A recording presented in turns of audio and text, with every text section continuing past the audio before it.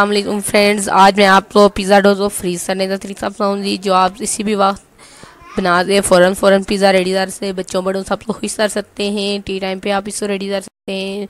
सबसे पहले हमने दो अब मैदा लिया है, इसमें हमने वन टेबल स्पून चीनी का लिया है हाफ़ टी स्पून में इसमें नमक डाल रही हूँ। इससे मैंने वन टेबल स्पून हमीर लिया है और टू टेबल स्पून हमने इसमें ऑयल ले लिया है। सो ऐसा भी ऑयल जो आप खाने में यूज़ करते हैं, वो ले सकते हैं। इसमें मैंने अंडा लिया है, अंडा मैंने रूम टेम्परेचर का लिया है फ्रिज का अंडा नहीं लेना आपने, और इसमें आपने फार्म का अंडा यूज़ करना है।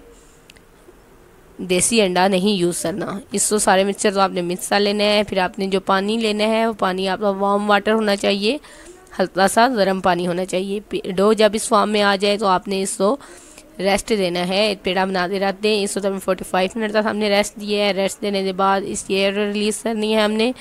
इस तरह से बहुत ज़्यादा हार्ड हैंड से नहीं करना आपने। सॉफ्ट हैंड की मदद से इसको इस तरह करना है।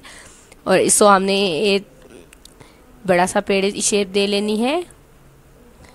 और पेड़े की शेप देने के बाद अब मैं इसमें से पीसीज इलादा डालूँगी। आपने जितने इसमें से पिज़्ज़े दे काटनी है। इसमें से मैंने छः पेड़े बना लिए हैं। इस तरह छोटी छोटी सी रोटियाँ मैंने बेल ली हैं, जिस साइज़ से मैंने पिज़्ज़े बनाने हैं। ये मैं लंच बॉक्स आइडिया के लिए बना रही थी तो मैंने इसके लिए सेव किए। इनको मैंने फ्रीज़र में रखना था कि जब भी बच्चे बोलें तो उनको मैं फौरी फौरी पिज़्ज़ा बना के दे सकूँ। तो ये हो गया हमारा इस पेन तो मैंने थोड़ा सा ऑयल डाल लिया है और इसको हमने अब इस पर सेक लेना है। दो मिनट तक आपने सेकना है, एक मिनट एक साइड से और एक मिनट दूसरी साइड से। और इसको आपने हाथों की मदद से इसे तनारे बना लेने हैं और दरमियान में आपने फौत की मदद से इसमें सुराख कर लेने हैं, ताकि इसमें से हवा जो है वो बाहर रिलीज़ होती रहे। इस तरह से आपने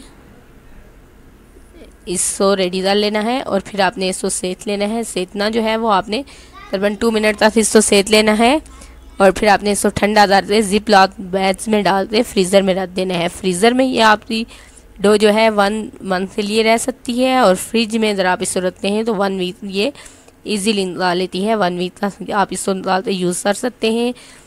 मुझे उम्मीद है आपको रेसिपी पसंद आएगी। वीडियो तो लाइक चैनल तो सब्सक्राइब कर दें। हाफिज़।